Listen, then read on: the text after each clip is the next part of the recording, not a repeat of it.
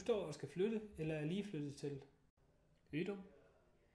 Og nu vil du gerne vide, hvad du skal være opmærksom på, når du køber et hus. Når du køber et hus, får du udleveret en masse dokumenter, øh, enten af sælger eller ejendomsmaleren. Øh, Her blandt en øh, salgsopstilling, som fortæller dig noget om, hvad er prisen og, og, og størrelsen på, på det, du køber. Du vil få udleveret en tilstandsrapport, som fortæller noget om ejendommens stand.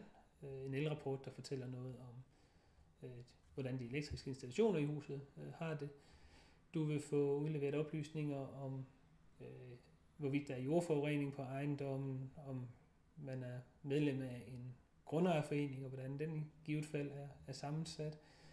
Hvis der er servitutter på ejendommen, vil, vil du få en kopi af dem. De, og øh, du vil i det hele taget få øh, en stak dokumenter på, på flere hundrede sider, som, øh, som indeholder alle de væsentligste oplysninger, du skal vide omkring den her ejendom, du øh, er ved at købe.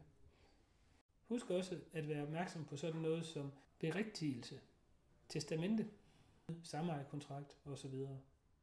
Det kan du alt sammen høre meget mere om i vores andre videoer, og ellers er du velkommen til at kontakte os. Det kan du gøre helt uforpligtende på telefon 86 48 33 22 eller på e-mail info advokat-sva.dk.